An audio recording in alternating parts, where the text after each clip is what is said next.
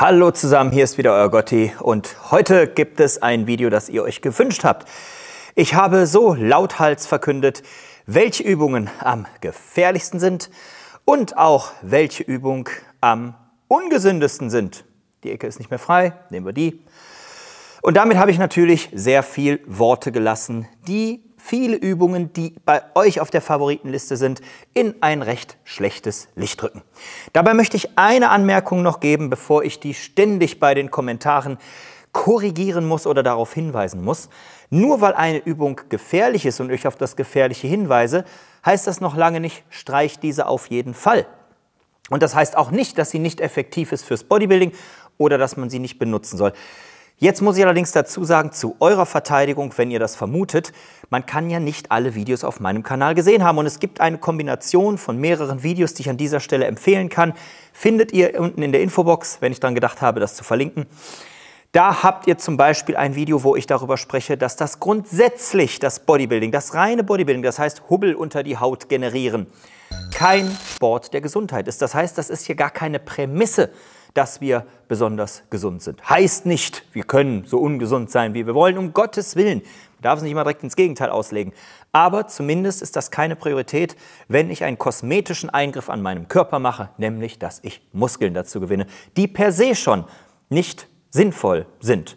Von der Natur her. In den meisten Sportarten, bei den meisten Bewegungen braucht ihr keine Muskelmasse. Muskelmasse ist eher im Weg. Kraft, ja und natürlich eine gewisse Geschwindigkeit und Muskelkontrolle, aber eigentlich Masse überhaupt nicht. Das ist eine kosmetische Sache, das ist eigentlich schon ziemlich bekloppt und damit eigentlich auch schon mal per se kein Gesundheitsding und auch kein Gesundheitssport. Das muss man berechnen, das ist die eine Seite. Und die andere, wenn wir das schon vorausnehmen, dann merken wir auch direkt, ja, das heißt dann nicht, dass eine gefährliche oder eine ungesunde Übung nicht mehr aufgenommen werden darf. Sagt das natürlich auch nichts über die Effizienz aus. Es kann sein, dass diese gefährliche Übung wahnsinnig effizient ist. Kann passieren. Und es gibt auch Übungen, die ich trotzdem mache. Wie ihr es auch schon aus den Videos entnommen habt, habe ich oft gesagt, das ist meine Lieblingsübung oder die mache ich auch sehr gerne. Weise aber darauf hin, sie sind weder besonders ungefährlich noch besonders gesund. Also Bedenket das bitte noch einmal für diejenigen, die die Videos gesehen haben. Und jetzt kommen wir zu Videos, die ihr euch gewünscht habt, zu Hauf. Unter den Kommentaren stand, bitte zeigt doch mal Alternativen auf. Und hier kommen wir zu einer ersten Alternative. Und zwar für unsere aller Königsdisziplin, dem Bankdrücken. Was gibt es neben der absoluten, und die Königsdisziplin besteht nun mal daraus, Bankdrückleistung, was gibt es da für Alternativen? Nämlich die normale Flachbank mit einer freien Langhantel, für die wir vielleicht nicht mal einen Spotter haben, weil wir alleine trainieren. Und das sind jetzt schon bereits die ersten ja, Einschränkungen, die ich geben muss. Ich weiß nicht genau natürlich, wofür ihr die Alternative sucht. Gefährlich, habe ich gesagt, ist es vor allem ohne Spotter. Also braucht ihr vielleicht die Alternative zu einem Spotter. Und da befinden wir uns gleich. Das hier kann ich jedem empfehlen, bei dem es vor allem an der Gefahr liegt, nicht an dem Ungesunden, also nicht, wenn er Schulterprobleme bekommt, bei, beim Ungesund-Video war es bei mir auch nicht drin, aber für den es zu gefährlich ist, das, da bis zum Muskelversagen zu gehen und das ohne Spotter, der kann im Power Rack wunderbar was machen.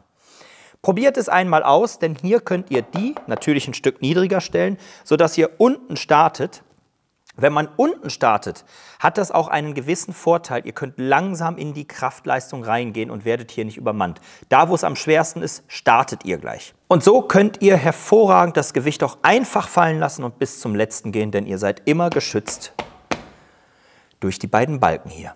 Das könntet ihr ja mal ausprobieren. Wenn ihr grundsätzlich ein Problem habt mit der Handstellung, mit der Stange, mit dem Freien, mit den Schultern, dann müsst ihr eher variieren in dem Bewegungsablauf. Und das machen wir mit anderen Möglichkeiten. So zum Beispiel natürlich mit Kurzhanteln. Hier gibt es Vor- wie Nachteile. Kurzhanteln können auch viel ungesünder sein.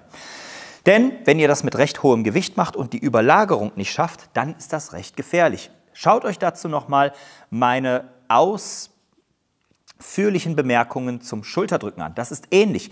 Ihr müsst die Kurzhanteln übersetzen und das Übersetzen findet nicht mit dem Zielmuskel statt, sondern mit vielen kleineren Muskeln.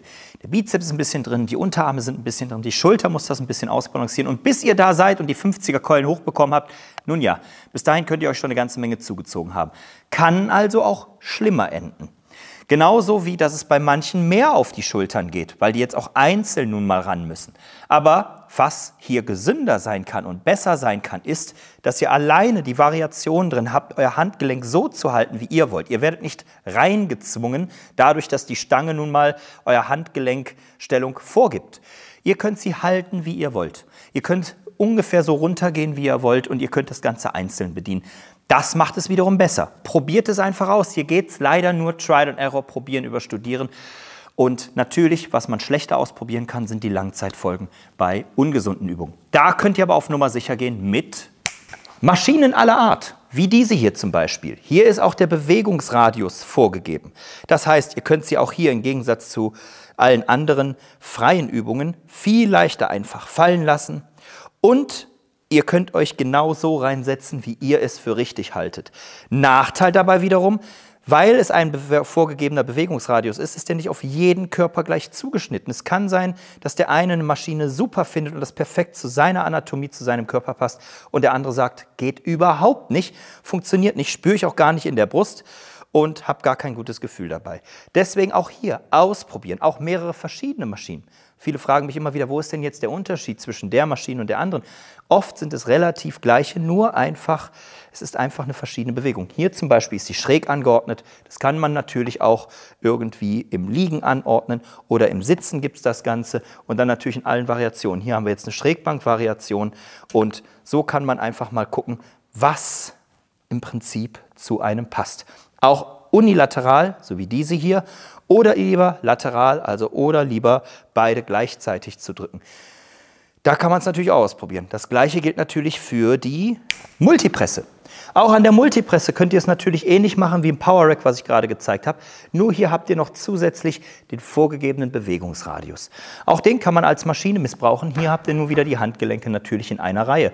Aber wem das nichts ausmacht, der kann hiermit auch vielleicht genau die Übung finden, die auf ihn zugeschnitten sind. All das sind Alternativen. Dann gibt es natürlich die Isolationsübung, aber die möchte ich jetzt nicht als Alternative nennen zur Bankdrückdisziplin, denn die zeichnet sich ja dadurch aus, dass es nun mal die Mehrgelenksübung für die Brust ist. Natürlich könnt ihr dadurch durch die Isolationsübung auch den Muskel vorerschöpfen, wodurch ihr weniger Gewicht bei den Grundübungen nehmen müsst. Auch daran ist zu denken, das ist aber eher eine Strategie oder eine Taktik, wie auch immer ihr es nennen mögt. Das heißt, wenn ihr normalerweise ein Gewicht braucht, um die Brust akkurat zu reizen und weil ihr einfach schon fortgeschritten seid, bei dem ihr mit sechs oder acht oder selbst zehn Wiederholungen über 100 Kilo nehmt, das heißt auch wirklich vielleicht sogar über euer Körpergewicht hinaus, dann ist das schon eine ganze Menge für die Schultern. So oder so, ob ihr kräftig seid oder nicht. Skelettskulptur ist bei meisten Leuten einfach gleich. Und die Sehnen sind ebenfalls gleich dünn. Die kann man sich nicht unbedingt dicker trainieren. Insofern macht das da eigentlich relativ wenig Unterschied und insofern solltet ihr einfach versuchen, diese nicht zu stark zu belasten. Und wenn ihr nun mal so viel Gewicht jetzt auf einmal benutzen müsst, macht vorher vielleicht einfach mal Butterfly dann sind die Brustmuskeln vorermüdet. Und wenn ihr dann ans Bankdrücken rangeht, dann schafft ihr vielleicht nur noch 20, vielleicht sogar 30 Kilo weniger. Das macht schon eine ganze Menge aus. Und das gilt für viele Ersatzübungen. Das ist Trick 17. Es kommt darauf an, an welcher Stelle eures Trainings ihr die Übung macht und mit wie viel Gewicht ihr das Ganze beladen müsst.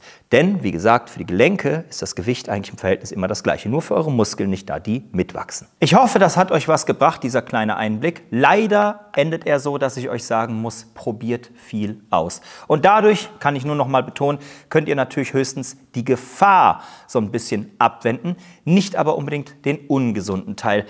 Da müsst ihr euch wirklich gut reinfinden. Und naja, wenn ihr irgendwo eine schlechte Intuition, ein schlechtes Gefühl bei habt, hoffentlich könnt ihr das abwenden. Ansonsten werdet ihr es erst viel später merken. Merkt euch, der Sport ist nicht unbedingt Gesundheitssport und wenn ihr den so richtig betreiben wollt und darin Fortschritte macht, dann bleibt das nicht aus, dass man gewisse Risiken eingeht und erst Jahre später merkt, dass man etwas davonträgt. Aber zumindest habt ihr hier ein paar Sachen an die Hand bekommen. Wem das Ganze gefallen hat, lasst es mich wissen. Abonniert den Kanal, dann verpasst ihr nichts mehr. Schaut euch mal die anderen Videos an. Hier gibt es viele wertvolle Tipps und ich muss oft schon auf andere Videos verweisen und deswegen tobt euch da ordentlich aus. Und wer mal sehen möchte, wie ich so ein richtiges Brusttraining angehe, wie ich bis zum Muskelversagen gehe, wie ich die Übungen aufeinander aufbaue, welche Pausenzeiten ich lasse, wie viele Wiederholungen ich mache und so weiter, der findet das Ganze hier und kann sich mal ein bisschen Inspiration holen. Das Ganze in Echtzeit, ich weiß nicht, Ist nicht unbedingt was für jedermann, aber wer da einfach mal eine Inspiration haben möchte, wie ich trainiere, jenseits von diesen sehr belehrenden Videos, der findet es da. Ansonsten schaut bei Protein Arena vorbei, holt euch eure Supplements und das für 15% weniger und wir sehen uns beim nächsten Mal. Bis bald, euer Gotti.